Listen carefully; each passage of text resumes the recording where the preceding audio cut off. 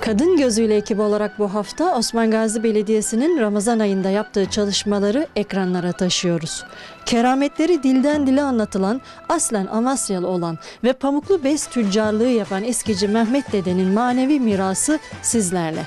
Osman Gazi Belediyesi'nin sosyal hesaplarından paylaşılan huzurun konukları, Bursa ve Ramazan hatıraları söyleşileri olmak üzere Covid-19 salgını süresince ve Ramazan ayında ihtiyaç sahibi vatandaşlar için sıcak yemek ve erzak yardımı ile Osman Gazi'de sofraları ayrı da olsa gönüllerin bir olmasını kadın gözüyle ele aldık. Arşivden birkaç kare ile Ramazan coşkusu kadın gözüyle programında. Kadın gözüyle Cuma akşamı Line TV'de.